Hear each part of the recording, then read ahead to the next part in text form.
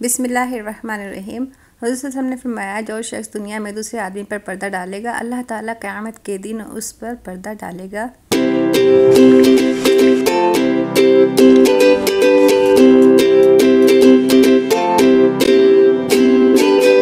अस्सलाम वालेकुम वरहमतुल्लाहि वबरकातुहू। वेलकम टू लाहौर देखा बे। How are you my YouTube family how will be fine इनशाला और मैं भी खैर से हूँ आपके लिए लेकर आई हूँ। बहुत ही मज़ेदार सी चीज़ है, बहुत ही मज़ेदार रेसिपी है। इसका नाम है मंगोची, जो हम बनाएँगे चने की दाल इसको मैंने 500 ग्राम चने की दाल को मैंने पाँच घंटे के लिए भिगो कर रखा। सुबह मंगवाई थी। अगर आप रात में मंगवाती तो रात में आप दो तीन बजे इसको भिगो दें और सुबह अर्ली मॉर्निंग उठकर इसको पीस लें पीसने के लिए पहले तो होता था सील बट्टा जो होता है, उसको, उसके ऊपर औरतें जो होती थी घर में पीसती थी, मगर अब ये क्या है कि हमने चीज़ें आसान कर ली हैं तो हमारे पास है ग्राइंडर जग होता है इसमें जो छोटे वाला स्मॉल जग जो होता है, उसके अंदर डालकर इसको आसानी से पीस सकते हैं। दाल आपकी इतनी हो कि हाथ से दब जाए। इतनी भीगी भी होनी चाहिए, इतनी सॉफ्ट हुई भी होनी चाहिए। और इसको करने के बाद मैं, देखें, आप, मैं एक ही साइड पर इसको चलाती जा रही हूँ, जिससे ये बहुत अच्छा सा इसका मुलायम सा बैटर बन जाएगा और बहुत सॉफ्ट ये हो जाएगी। इसके अंदर कुछ चीज़ें जाएँगी, जैसे कि अदरक, लहसन, हरी मिर्ची, हरा धनिया और प्याज। इन सबको मैंने बारीक बारीक काट कर इसके अंदर डाल दिया है। देखें, अदरक कितना सॉफ्ट है और कितनी बारीक बारीक इसके अलग अलग इसके पीसीज हैं, इसी तरह मैंने प्याज को भी बारीक बारीक काटा हुआ है चॉप करके, इसी तरह से लहसन को भी। लहसन को करना थोड़ा मुश्किल होता है, मगर मैंने फिर भी उसको किया है इसी तरह क्योंकि जब हम मंगोची खाते हैं तो ये सब चीज़ें जब आती हैं तो बहुत ज़्यादा इसका टेस्ट बहुत मज़े का लगता है।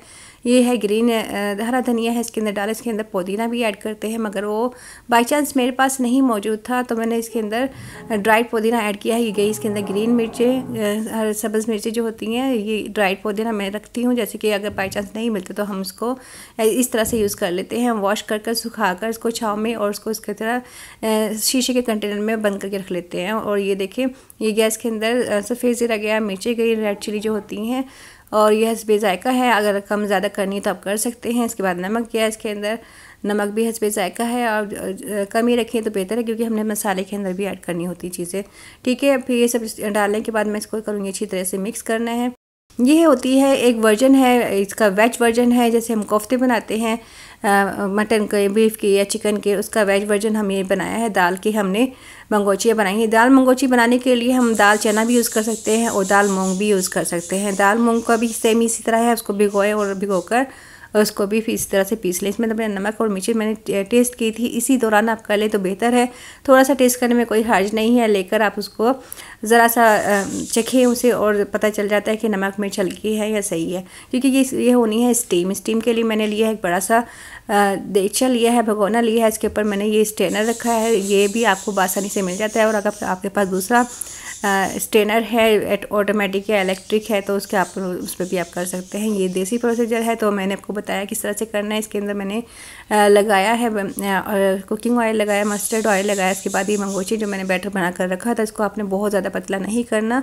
इसी तरह से थोड़ा थिक होना चाहिए, और उसको मैं छोटी छोटी से इसकी मंगोचियाँ बनाती जा रही हूँ, और उसको एज इट उसके ऊपर रखती जा रही हूँ। उसके जाली की जो स्टीम आएगी, जो भाप आएगी, इससे ये ऑटोमेटिकली खुद ब खुद स्टीम हो जाएँगी। इसको मैंने रखा है डेढ़ घंटे के लिए ढककर। बड़े से बर्तन से आप ढक दीजिए कि स्टीम्स की बाहर ना निकले और मीडियम फ्लेम अपना रखना है। चूल्हे का उसके बाद आते हैं बैटर की बारिश में मैंने लिए हैं चार टमाटर लिए हैं। एक बड़े साइज़ की प्याज ली है। प्याज आजकल बहुत बड़ी बड़ी साइज़ की आ रही हैं तो एक ही काफ़ी है। उसके बाद जाएगा इसके अंदर अदरक और लहसन जो मैं इसके अंदर भी ऐड करना है। मैंने मंगोची के अंदर बैटर के अंदर भी ऐड किया है। हाफ़ कप पानी डालने के बाद इसको हमने करना है ग्राइंड और बहुत ही प्यारा, बहुत ही स्मूथ सा इसका बैटर बनाकर रख लें साइड पर। और दूसरी तरफ़ हम आ जाते हैं कि हमने क्या करना है, मसाला भूनना है, इसके लिए हमने देख कढ़ाई चढ़ाई है चूल्हे पर और बहुत ही अच्छा इसको गर्म होने के बाद इसके ऊपर डाला मस्टर्ड ऑयल फिर हमने इसको भी गर्म किया, सबर का मुजाहरा किया और इसके अंदर डाला हमने आनियन आनियन के हमने हाफ़ पीस लिया क्योंकि हमने फुल बड़ा साइज़ का पीस जो है हमने मसाले के अंदर भी ऐड किया। अगर ज़्यादा ऑनियन डालेंगे तो वही हमारा मसाला मीठा मीठा हो जाएगा और हमें वो फ्लेवर नहीं चाहिए। ठीक है, फिर इसके बाद भूनने के बाद फ्राई करने के बाद लाइट गोल्डन हमारा प्याज हो चुका है, उसके बाद जाएगा बैटर जो हमने भी पीस कर साइड पर रखा था, वो डाल के उसको ढकते जिससे कि चीटें आपके ऊपर ना आए। शील्ड के तौर पर अपने इसके कवर को इस्तेमाल कीजिएगा। जैसे मैं करती हूँ, इसी तरीके से आप भी करें उसके बाद इसको थोड़ी देर के बाद इसमें जो बैटर के जो जिसमें हमने जग में बनाया था, उसमें थोड़ा सा पानी डालने के बाद उसको ऐड कर दें, जिससे कि उसमें जो मसाला लगा होता है वो ज़ाया ना हो जाए और उसको बनाएँ।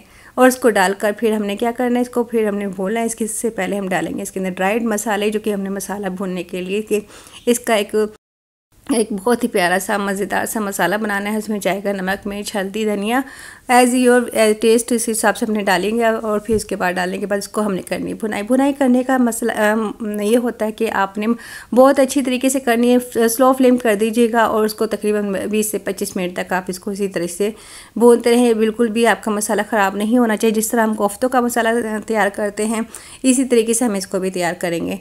और उसको थोड़ी देर के लिए ढककर हमने, मैंने रखा तो ये आधा कुक हो चुका है, उसको फिर मैंने चलाया दो तीन बार, उसी तरह से कि यह नीचे से ख़राब ना हो जाए।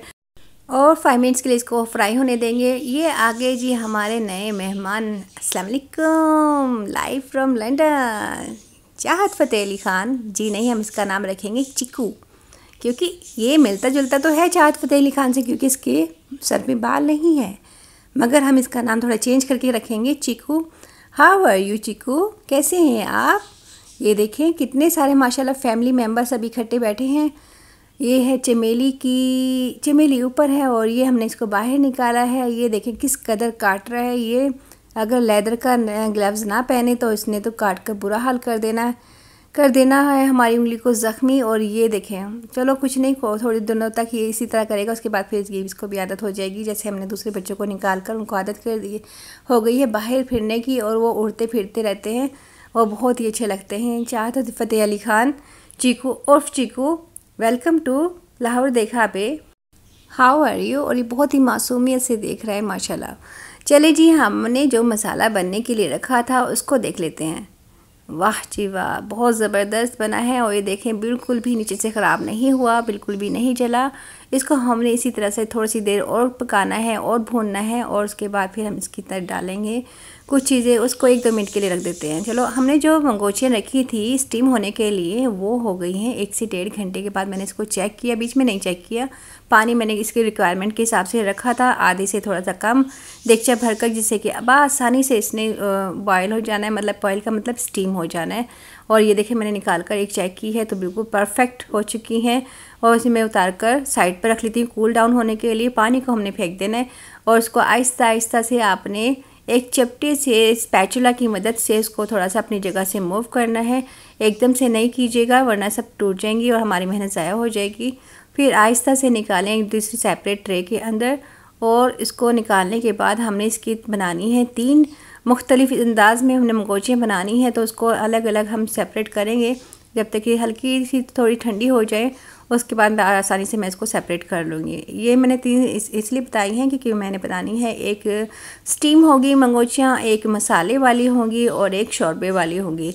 तो स्टीम तो मैंने निकाल कर सेपरेट बॉल में निकाली है। मसाले वाली जो मैं आपको बता रही हूँ किस तरह से करनी मसाला जो हमने भूना था उसी में हमने सबसे पहले भूनने के बाद जो मंगोची जितनी हमने हमने शौरबे वाली भी रखनी है और मंगोची और जो मसाले वाली भी रखनी है, सब इसके अंदर डालने के बाद इसको बहुत ही हल्के हाथ से आप चलाएँगे। जिस तरह से हम फ़िश को चलाते हैं, फ़िश जो मसाले वाली फ़िश बनती है या शौरबे वाली बनती है, उसको भी बहुत आसानी से, बल्कि उसको तो हम हिलाते ही हैं, चलाते भी नहीं।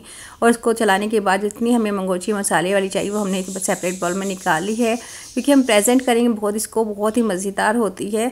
और ये देखिए निकाल कर मैं रख लेती हूँ साइड में। और बाकी जो हमारे मसाला का बचा है, उसको मतलब कि जैसे हमने लिक्विड फॉर्म में रखनी है तो उसके अंदर मैं डालूँगी पानी। 500 ग्राम मैंने इसके अंदर पानी ऐड किया है।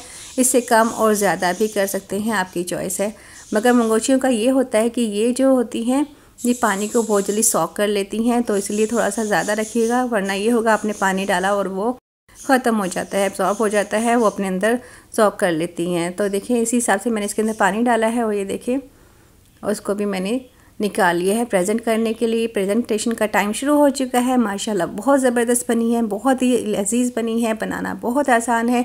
इसी तरह बनाइएगा जैसे मैंने बनाई है। ये है जी वर्जन, हमारा वेज वर्जन है, कोफ्तों का, ये कह सकते हैं मटन कोफ्ता, बीफ कोफ्ता, ये चिकन कोफ्ता जो भी हम बनाते हैं। इसी तरह वेजिटेबल कोफ्ता भी होता है और ये है हमारा दाल के मंगोची, जैसे हम दाल दाल कोफ्ता या दाल बड़ी भी कहते हैं।